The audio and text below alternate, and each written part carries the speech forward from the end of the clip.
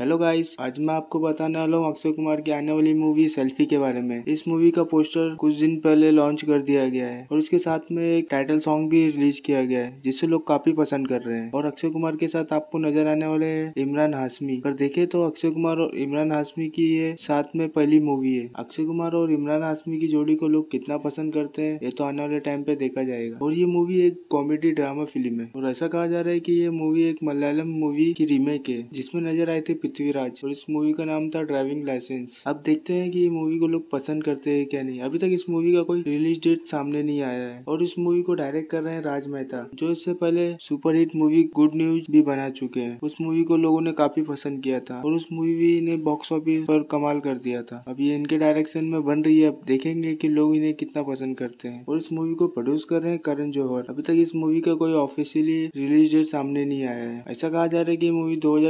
में रिलीज 注意。